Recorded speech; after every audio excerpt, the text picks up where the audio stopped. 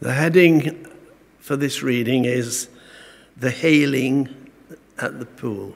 The Healing at the Pool. Sometime later, Jesus went up to Jerusalem for one of the Jewish festivals.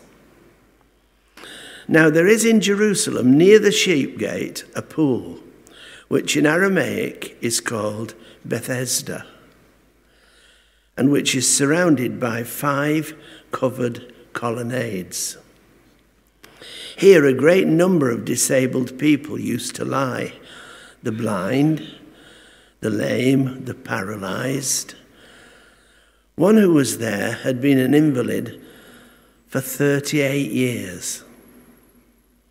When Jesus saw him lying there and learned that he'd been in this condition for a long time, he asked him, do you want to get well? Sir, the invalid replied, I have no one to help me into the pool when the water is stirred. While I'm trying to get in, someone else goes down ahead of me. Then Jesus said to him, Get up, pick up your mat, and walk. At once the man was cured he picked up his mat and walked. The day on which this took place was the Sabbath.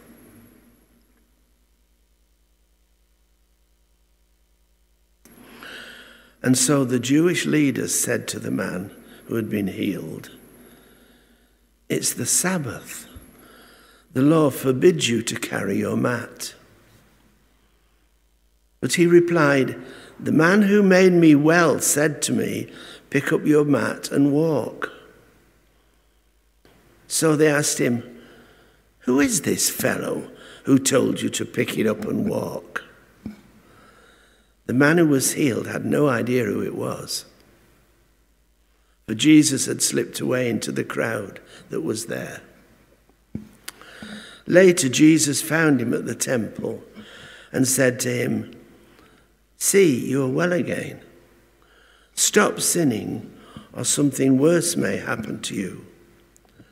The man went away and told the Jewish leaders that it was Jesus who had made him well. So, because Jesus was doing these things on the Sabbath, the Jewish leaders began to persecute him. In his defense, Jesus said to them, My Father is always at work to this very day, and I too am working. For this reason, they tried all the more to kill him. Not only was he breaking the Sabbath, but he, was even calling God his own Father, making himself equal with God. Amen.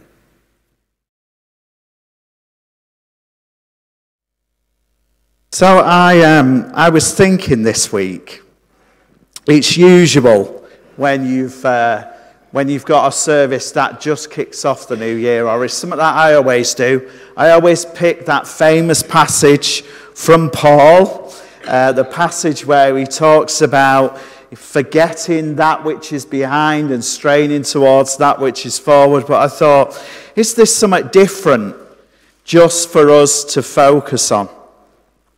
And I've been thinking recently, twice I've told the little anecdotal story about my friend who was asked by a doctor in making a decision about his health um, whether he want, wanted to choose to live, because that was the most important thing for him.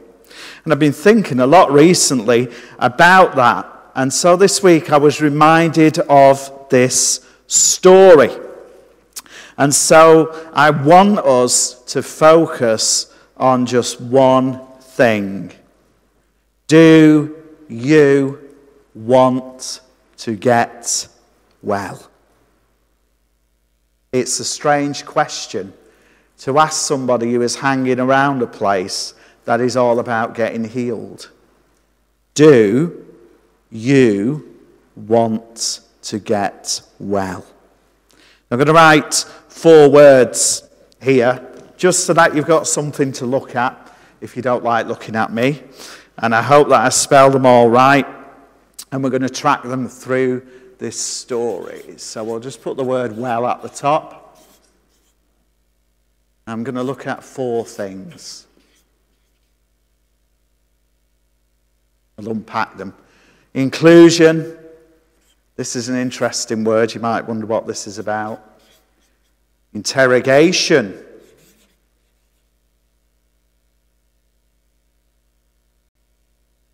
I know Clive stood behind me, so I hope I'm spelling these right. Interruption.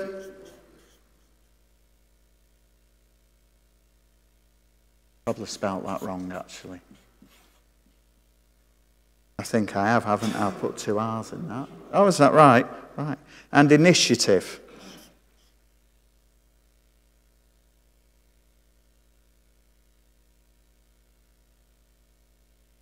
Let's see what we can get out of this story together as it stands and for us too. I wonder, firstly, whether this story, well, certainly as it kicks off, is a story that tells us a little bit about inclusion. Because you've got a man who clearly is on the floor and he claims to be powerless. He can't get into these waters when they're stirred, and nobody is helping him. I wonder whether he's the kind of guy that people step over in order to help others and forget that he exists. Is the point initially of this story that Jesus identifies that one, that one person, and engages with that one person who is traditionally missed out of the feast of healing. So we could say, in line with how John himself writes the gospel, that this is a story about inclusion. Somebody on the margins is given hope again. But then I find it really interesting that Jesus asks him that question Do you want to get well? It sounds a bit like an interrogation for me. Do you really? Are you serious about being well? Do you really want this? And I wonder, and it's, you know, this is me reflecting and maybe reading into the text. I wonder whether Jesus is trying to find out whether he's comfortable where he is or whether he's really ready to say yes to long and lasting change. Do you really want this? Are you really serious about this? And it sounds a bit like an interrogation, doesn't it? And the man says back to him probably what he's said for years now a narrative and it's a narrative that is hopeless, it's despairing. He says to Jesus, Well, yes, I do, but I've got nobody to help me. While I'm trying to get in, he says, someone else goes down ahead of me. He's trying to get in in his own power, which you would do. I'm not condemning that, but it would have been better if he would have had assistance. So he tells Jesus a narrative. I wonder how many times, given that he's been there for, how long does it say? 38 years. I wonder how many times he's said that to somebody, how many times he's repeated that narrative. And yet, I think Jesus' work is going to come and disrupt or interrupt that narrative. It's almost like in Jesus' question, he's also saying, Are you prepared for the narrative that you live by to be broken? I think when you've been in the same place for so long and said the same words over your life for so long, you can become comfortable and conditioned to accept nothing different than the story that you hold. I remember watching the film Shawshank Redemption. Are people familiar with that film? So it's like it's based primarily in a prison.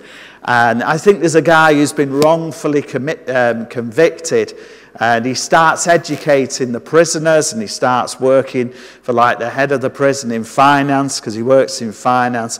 But he creates quite a community around him because he's educating people. And there was what, there's one old man in the film and uh, he gets released. He gets his ticket to freedom. But he's been in prison most of his life. And there's a scene where he goes back to where he lived. And that's where he's going to get a flat. And he walks into the flat. He has a look through the window and he sees all the newness and he sees everything different. And then he immediately puts a noose up and he kills himself because he cannot break free from the institutionalized life that he's had. And so he, he'd rather stay in that than embrace the new. Now, when I watched that, I thought, well, I don't blame him because it's a tough thing to do to transition out of something you're used to and into something different. And I think that's why nowadays a lot more work goes in to uh, offenders who are released being integrated better into society to manage the mental health and the disruption. But I think sometimes we can live so, so conditioned lives that to contemplate anything different or even go outside of what we're used to gives us a dissonance that makes us either want to run back to the conditioned thing that we're used to or not face reality at all. And Jesus sometimes, let's be fair, Jesus' healing will be an interruption for this man. It will break the narrative pattern for his life.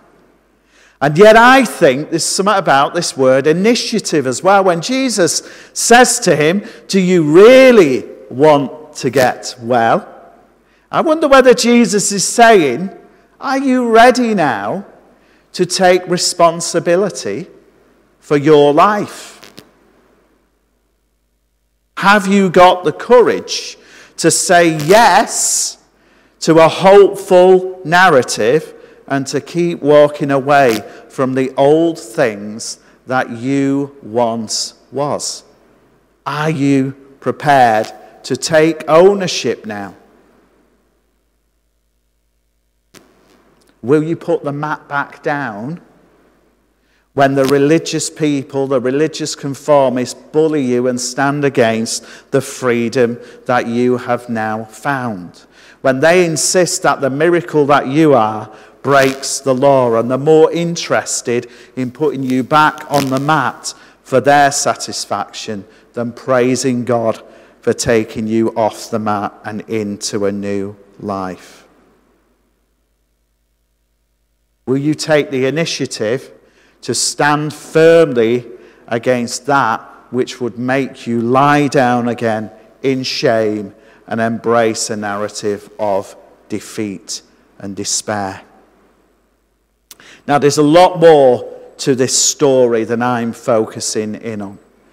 But I am obsessed with the, with the question Jesus asks Do you really want to get well. It's like Jesus is saying, I've seen you, I've heard about you, I've noticed that you're on the floor, and I know the narrative that you have. But my question is do you really, really want to be well?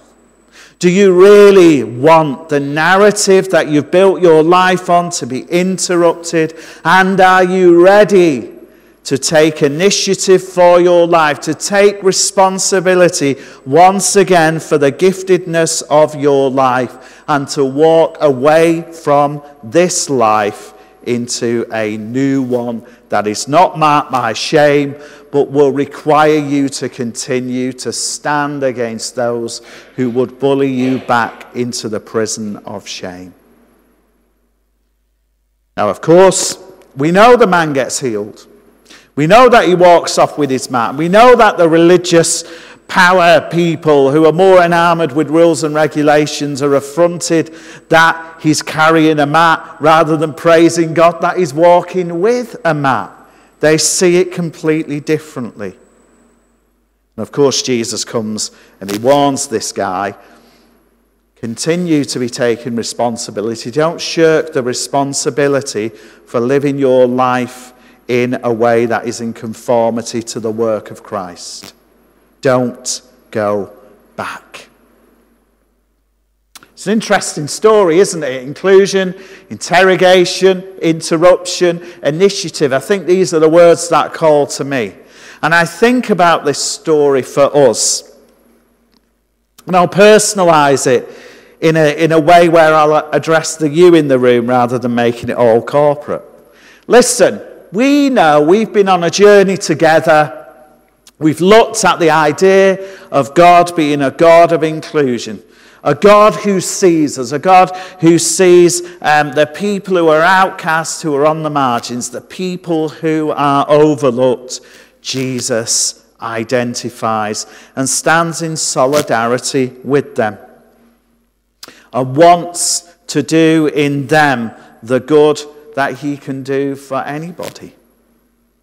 But I just want to give a little bit of a warning because this has occurred to me recently. We all suffer in some way with a sense of not feeling at the centre. Unless we're bullies and we do power grabbing. But all of us do. But the thing is, we don't display our sense of lostness and marginalisation in exactly the same ways. There are people who have been schooled and brought up with an approach which is great, which is no matter what, you just get on with it. And sometimes it's the people that we think are getting on with it that would say that they are the most overlooked. We have to be so careful, don't we? That we don't overlook those who are genuinely suffering on the inside because they look like they've got everything together. Now, the good thing about this story for me is even though people might not see your inner sort of sense of marginalization because you look like you've got it together, Jesus does see it. God sees all things. He sees our inner suffering, our mental anguish, just in the same way as he would have seen that person physically in front of him who was on the margins. We're all included because technically the gospel tends to tell us that we're all lost anyway in the first place. But sometimes we can favor, perhaps, and this sounds a little bit conservative in mindset, we can put too much energy in those who would never really want to get well. But Jesus interrogates this man, and I wonder whether the question for us this morning, for you, is do you really want to get well? In your life, do you really want to be whole?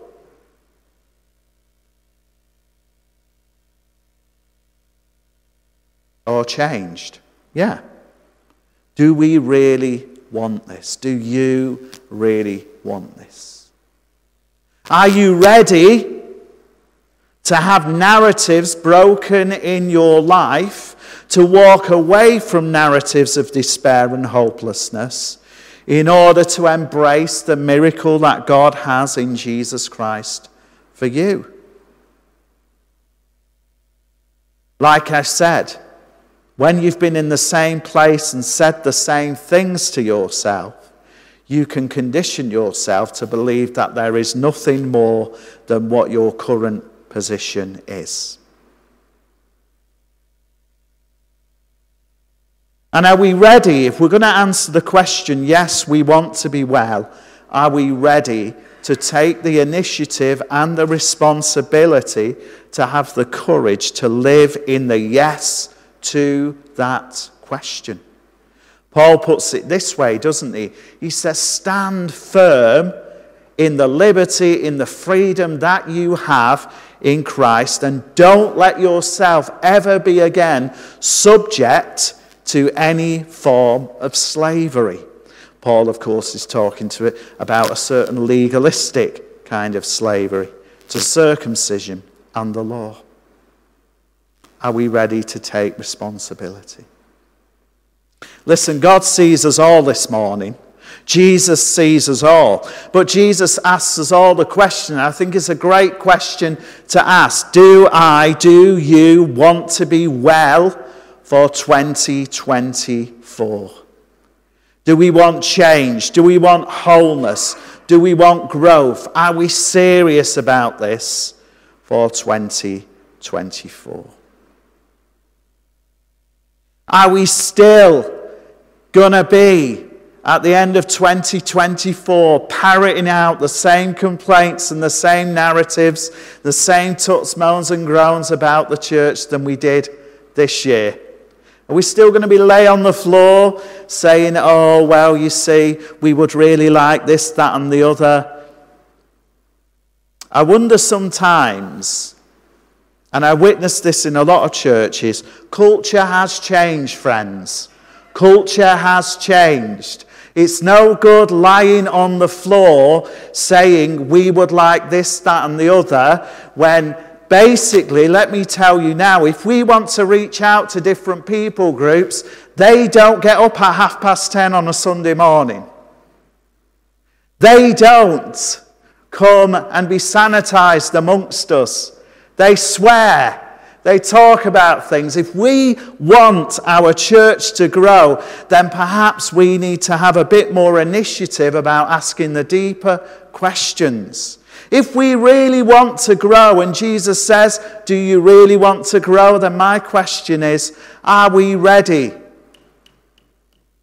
for everything to be interrupted? Perhaps Jesus might say, what you want, I don't want to give to you. I want to give you something different. Get up and walk in this now.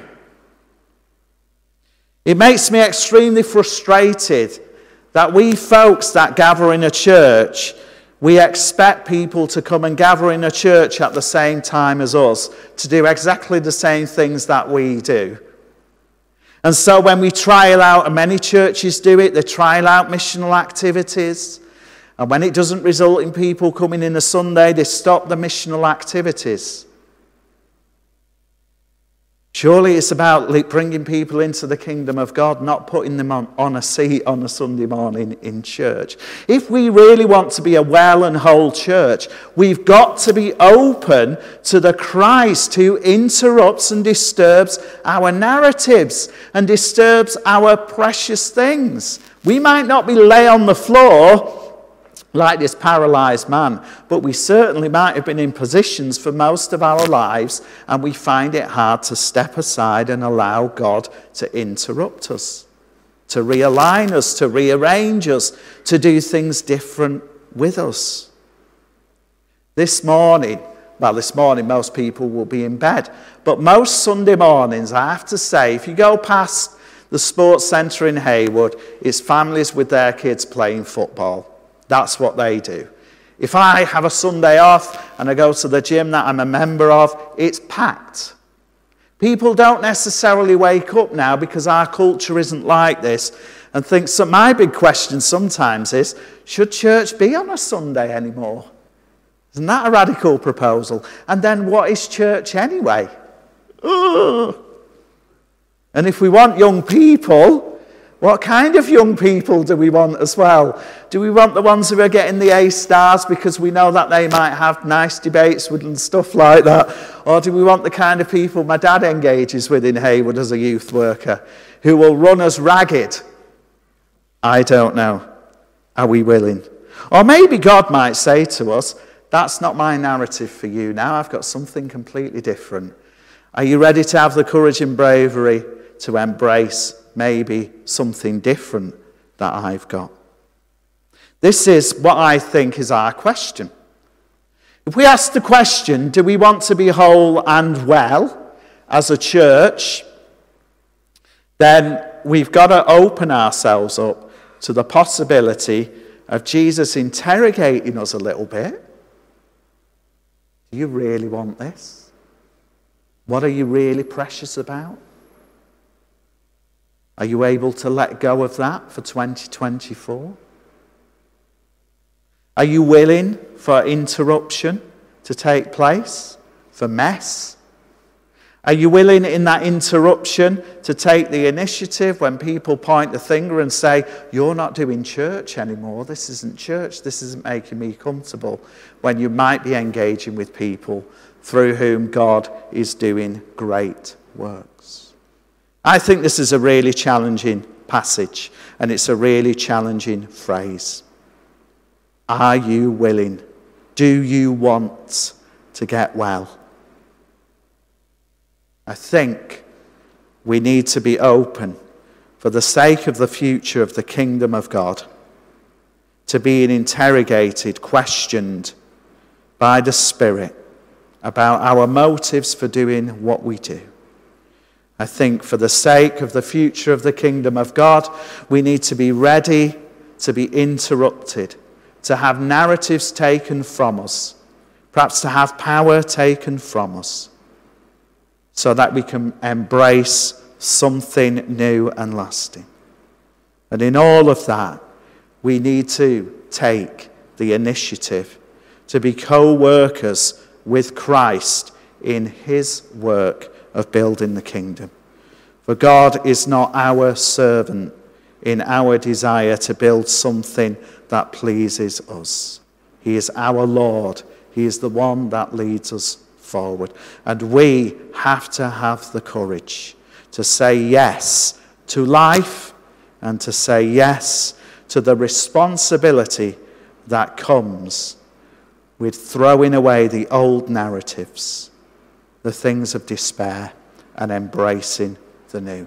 Let's have the boldness and courage in 2024 to be those who set our feet upon a new race. Amen.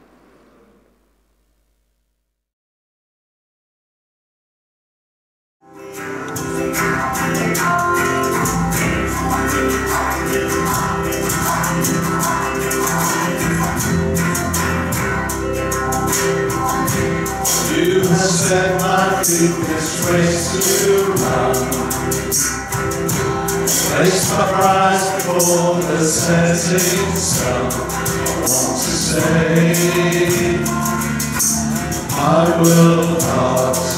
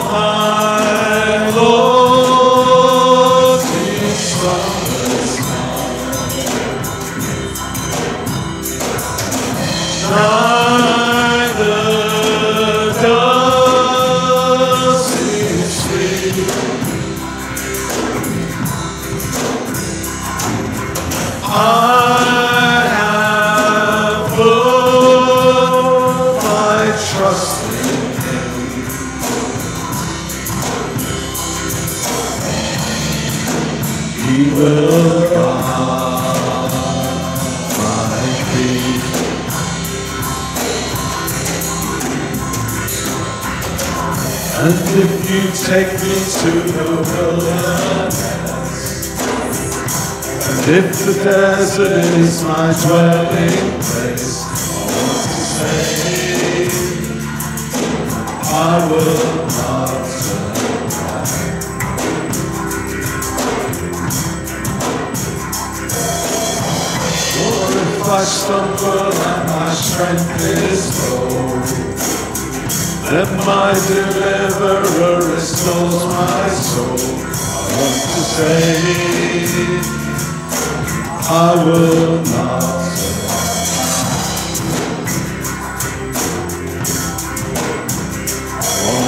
say, I will